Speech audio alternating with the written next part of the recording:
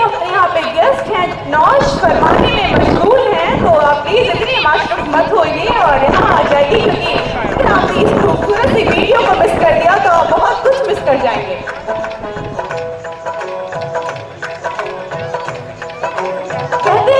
जो पल होता है हर लड़की की ज़िंदगी में, एक बार ज़रूर आता है और हर